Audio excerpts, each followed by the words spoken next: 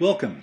In this lesson we're going to have several short presentations about number systems, including the binary number system. An important principle in computer science is that binary numbers are used to represent all computer data. That means they represent numbers, letters and text, our documents and our text messages, images, our photographs, machine language instructions, our videos and our music. Uh, in fact, every kind of data you can find on a computer is represented with binary numbers. The binary system is very similar to the decimal system. Both are considered positional number systems. That means that the value of a particular digit, like the digit 5 in 542, depends on its place.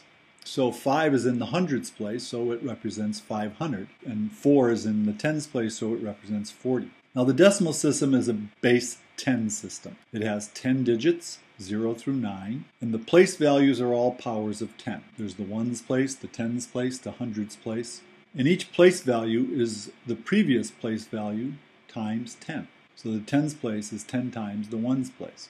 The binary system works the same way. Its digits have a value that is represented by their position. So 101, the first digit on the left has a place value of 4, whereas the one on the right has a place value of 1.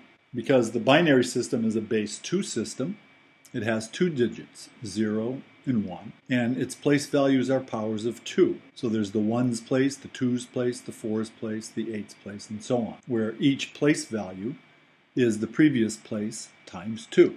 That's why this one over here is the fours place, the ones place, the twos place, the fours place.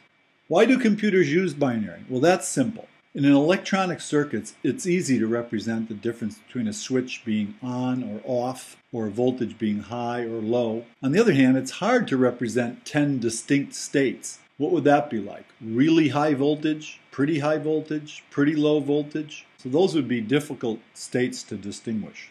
So, before we go on, there's this one amazing fact you have to remember, and that is by combining zeros and ones in various combinations, we can represent any and all the data that computers use and process.